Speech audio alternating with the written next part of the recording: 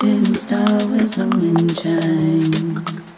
Didn't start with my third eye. Ooh, I wasn't.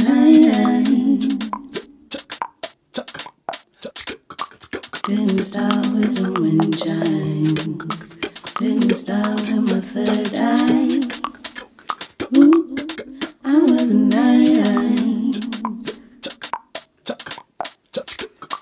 This biology, this binary, this species, but feces on my shoulder. I've been stabbing trees. I cut the dog's hair off, and then I'm throwing rocks in the park instead of bread. I've been straddling the shed. I've been coming to the.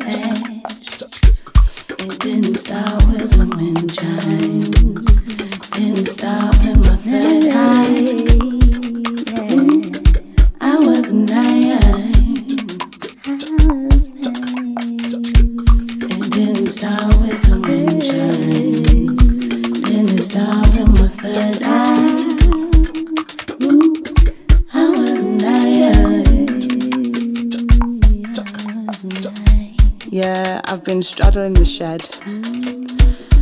I've been coming to the edge like Evel Knievel. I'm ready to break bones and show 'em all that rotten spice and everything nice and pink, like blood curdled with piss.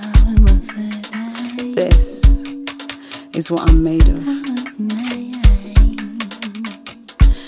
And no, it didn't start with a gentle opening of a third eye.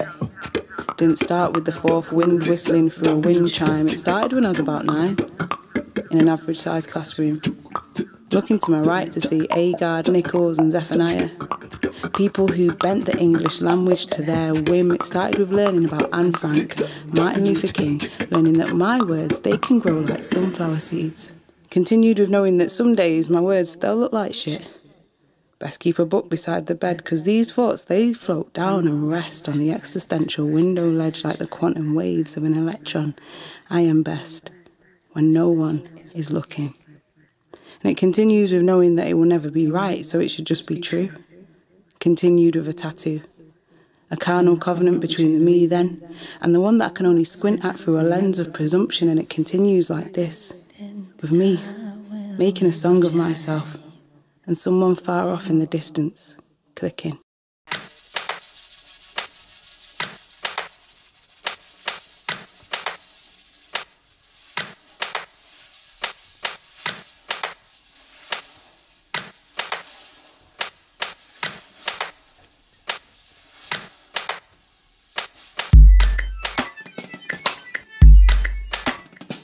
My mum said she dreamt fish, live fish. She stood in the market, eyeing up the snapper, the bang mary, and the trout on one side, the howry, the papa, and the hassa on the other side.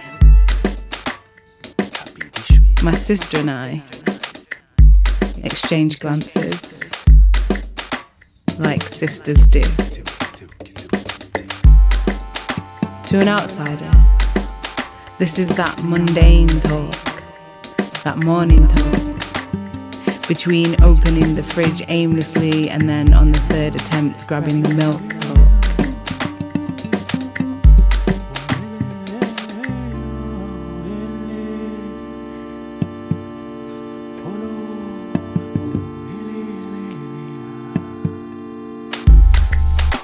Every child in this family has been preempted by my mum's otherworldly trips to the fish market. Last time, Auntie called to share the good news. If it comes from anyone else, then it's good news.